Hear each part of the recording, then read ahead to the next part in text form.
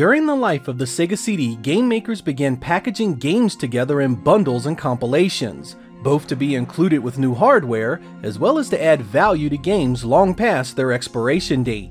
The reduced cost of CD manufacturing meant that multiple retail discs could be packaged as one and still be profitable, while the massive increase in storage size on a CD meant that multiple cartridge games could be stored with no problem. This allowed a number of these releases for the Sega CD and Mega CD, and in this episode, we will be taking a look at them. I've got 9 bundles and compilations here, ranging from some great arcade classics to even some pretty crappy full motion video games. I hope you guys enjoy Sega CD The Compilations.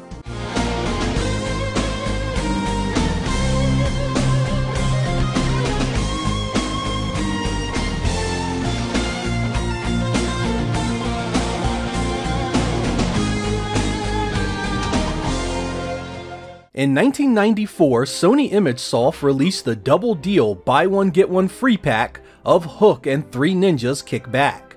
Most of you are well aware of the first game Hook, as it is a standalone early release on the Sega CD shortly after its launch. The Sega CD version features the John Williams soundtrack from the film, as well as a ton of voice acted scenes, though the actors are different from the film. It's quite the decent platformer and was developed by none other than Core Design. The other title here is Three Ninjas Kick Back, an enhanced port of the cartridge game that appeared on the Sega Genesis as well. The difference is that while Hook got a standalone release for the Sega CD, Three Ninjas Kick Back only appeared on the platform in this bundle. It has new first-person scaling stages that involve rollerblading and hang gliding, new cinemas of the grandfather explaining what to do in each area, and a CD quality soundtrack. You get to choose from the three kids in the film and most of the gameplay involves running from something, finding stuff, or simply getting from point A to point B. The gameplay is actually quite responsive and while it wins no points for originality, it does what it does well enough to keep your attention. The additional stages used a modified engine from Batman Returns on the Sega CD, which was also developed by the same company, Malibu Interactive.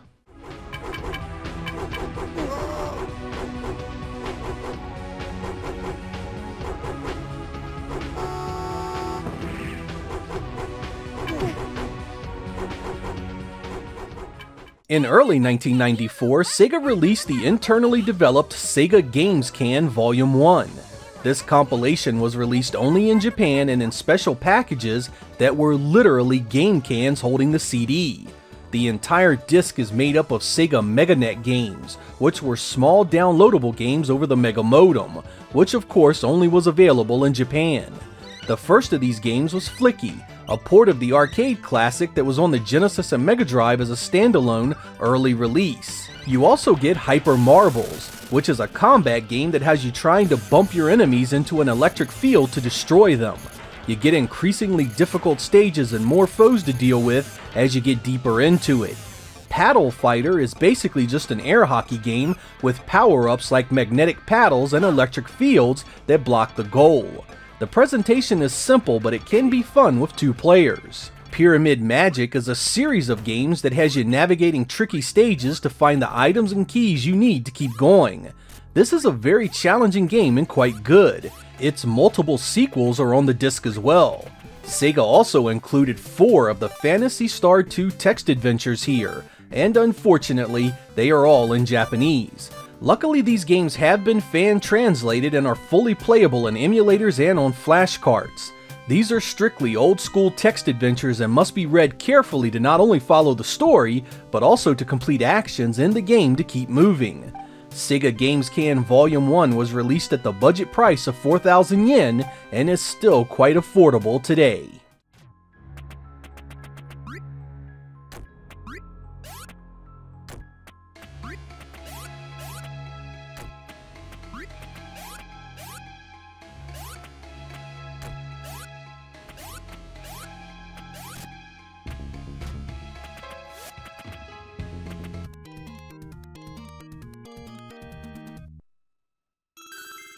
Right around the same time, Sega also released Sega Games Can Volume 2, which added an additional 12 games to the compilation.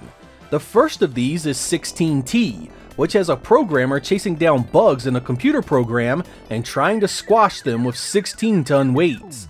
The stages wrap around themselves and it's far too easy to kill yourself, making it a snooze fest quickly.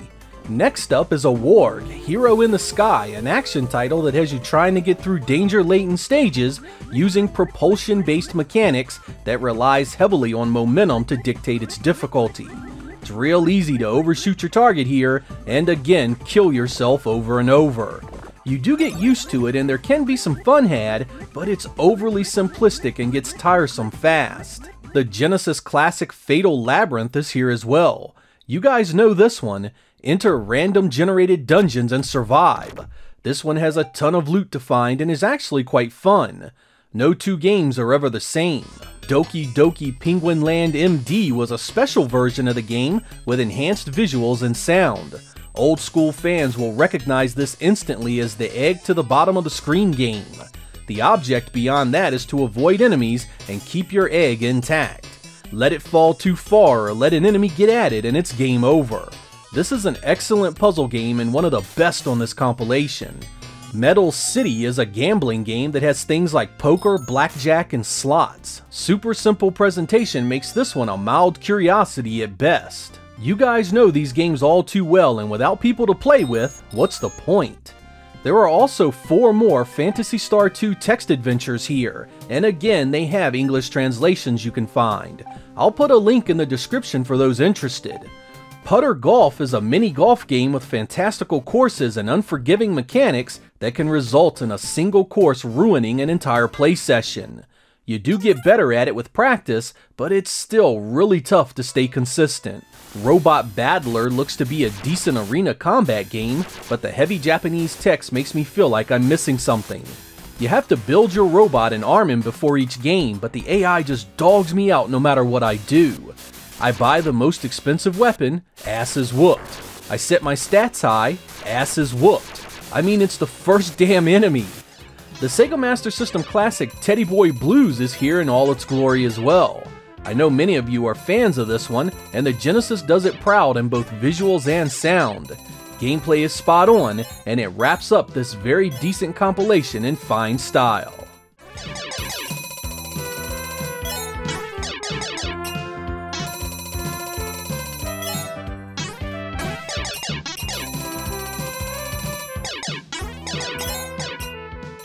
One of the hardest games I have ever played is Out of This World. I mean, I adored the opening cinema, setting, and visuals of this one, but good lord did the deaths come fast and often. Each new screen I encountered almost guaranteed you die simply because you had no idea what to do until the Grim Reaper firmly had his hands around your throat. The Sega CD received its sequel, Heart of the Alien, in 1994, which included the original as well. And as hard as the original was, the sequel is even worse. You need godlike reflexes to get anywhere in this game. The opening scene took me 30 minutes to get down so I could move on, and I died time and time again. Those of you with dedication and persistence will likely find a game worth playing. The rest will have your asses handed to you for 20 minutes or so, rage quitting to some colorful expletives.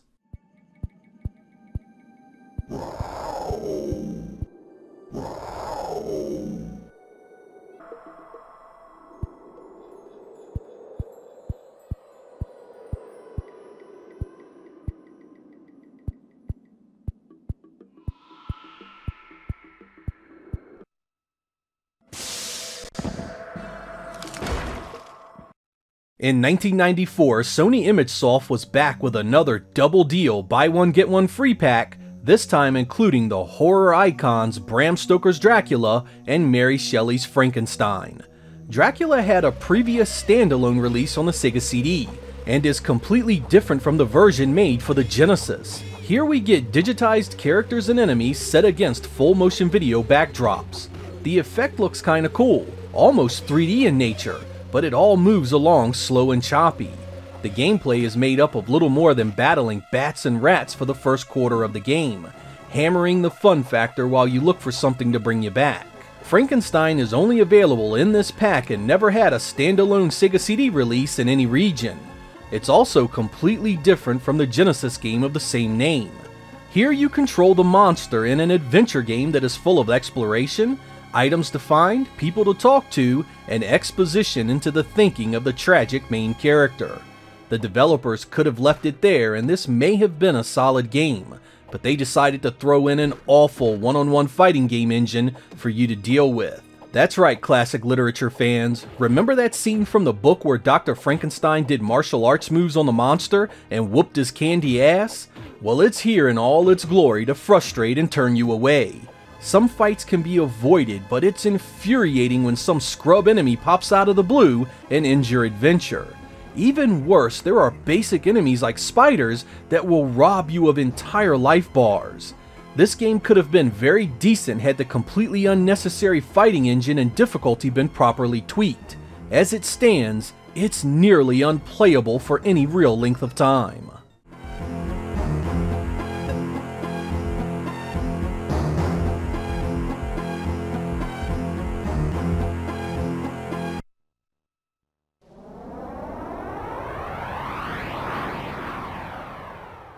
When the Sega CD first launched in North America, it was packed with multiple games. You got Sol-Feace, a CD-enhanced version of Soul Dece for the Genesis, as well as a combo pack-in that gave you Sherlock Holmes Consulting Detective and Sega Classics Arcade Collection. This pack came in a dual CD case with each game's cover on the same side as the disc. Sherlock Holmes was a full motion video game that had two cases for you to solve by talking to people, finding clues, and ultimately presenting your case to the court. For what it is, it's one of the more interesting, if somewhat boring uses of video in a game. The real gem here is the Sega Classics disc, however. This compilation includes the arcade classics Golden Axe and Columns, as well as the console big hitters Revenge of Shinobi and Streets of Rage. The enhancements to these classics are entirely in the sound and music department, and honestly, some of them are hit and miss. Golden Axe has the music from the arcade version, which is welcome, but loses its two-player mode for some reason, and Columns features a catchy new theme song on the title screen. Most of the grunts and groans you hear in all these games have been replaced by newer ones, losing some of their classic appeal. When Shinobi pops his ninjutsu, you get this.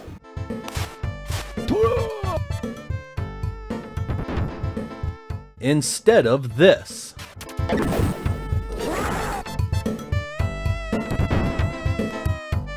And players and enemies sound like this in the cartridge version of Streets of Rage.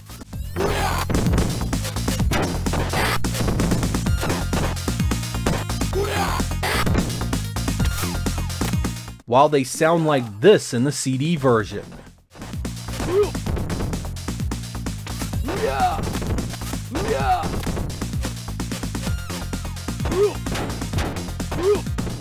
These are little things to be sure, and they do not in any way ruin the excellent games each and every one of these titles were. This set was updated in later releases to include the additional game Super Monaco GP, as well as replacing Sherlock Holmes with Echo the Dolphin.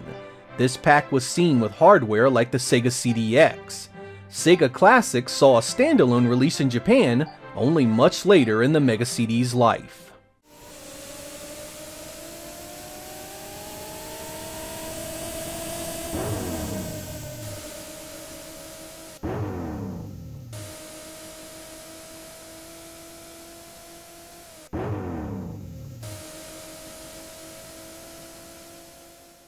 Sony ImageSoft wasn't done giving you major bang for your buck in 1994, offering another double deal buy one get one free bundle that included the full motion video shoot 'em up Microcosm and the side-scrolling beat 'em up Ultraverse Prime. Microcosm saw a standalone release for the Sega CD prior to this one. It's a shooter that has you flying over top of full motion video backdrops, concentrating entirely on blasting enemy ships. This pseudo 3D environment might have been impressive had it not been so washed out and plain looking, but you'd think flying around the inside of someone's body would look a bit more interesting. It's a product of its time, and while it definitely can be fun for a bit, you won't be returning for more than a few tries. Ultraverse Prime is based on the Prime series of Malibu comics which followed the titled superhero in his quest to rescue his 13-year-old girlfriend. Yep, if you don't know the story, you should read it, it's quite freaking weird. Anyway, you get a beat 'em up with a Superman-like character that plays like the Super Nintendo version of Konami's Batman Returns. Surely this is a must-own, right? Nope, not at all. Ultraverse Prime is a repetitive, unfinished piece of software that was just a few months of development away from becoming something special. The move set is actually quite decent. You get a punch and kick combo controlled by different buttons, as well as a series of grapple moves like ground slams, whirlwind throws, head-to-head -head crunches, and wall slams to add variety. The problem starts right away with some nearly non-existent enemy variety. I mean, the developers had to realize that using the same enemies for an entire stage just didn't cut it. I mean, at least change it up with three or so different enemy types.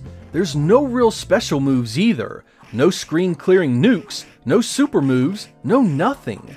I mean, this dude has tons of powers in the comics, where are they? There is also a big lack of stage variety. Everything looks the same and there are only a couple of sections where you fly. This leads to a gameplay experience where you are beating up the same enemies in the same looking stages for long periods of time. Even the boss encounters are weak, offering nothing but more sameness mashing the punch and kick buttons. Had there been a few more enemy types, a few more special moves, and maybe a stage or two that changed up the gameplay a bit, this could have been, no, this should have been a much better game. I mean, it even got the free comic books all wrong by giving you horribly digitized and nearly unreadable low-res images that look just disgusting.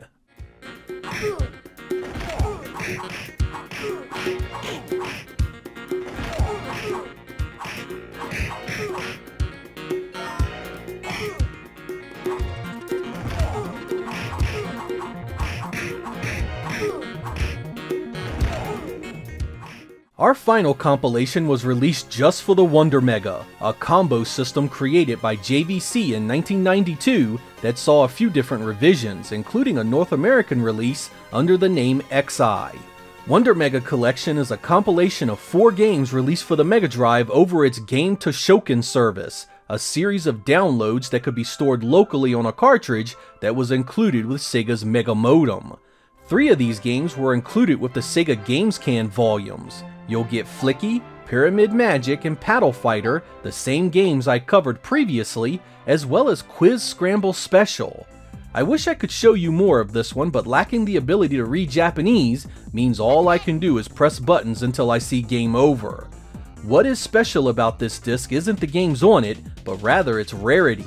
Because the Wonder Mega was a pricey specialty system only sold in high-end electronics stores, Wonder Mega Collection is not something you'll see very often and can sell for nearly $100.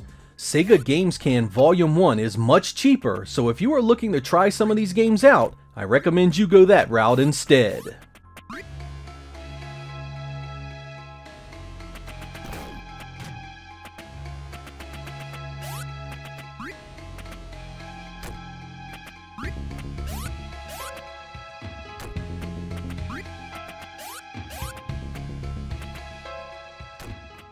Like a lot of the Sega CD library, you have to dig a bit to get to the good stuff here. The Sega Games Can games are definitely worth looking at for something different, particularly Volume 2 and its 12 entries that had gems like Doki Doki Penguin Land.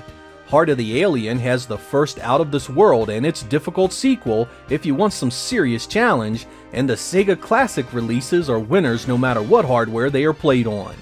I'd even recommend the Three Ninjas Kickback Hook bundle, as both these games are decent representations of their source material. The nice thing is, is that many of these are incredibly cheap nowadays if you are into collecting Sega CD and Mega CD games.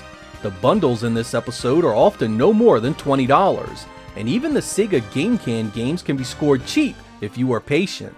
At least fire these up on an emulator or a Mega SD and check them out. You may just find something worth playing. I'm Sega Lord X. Thank you guys for watching, and I will catch you next time.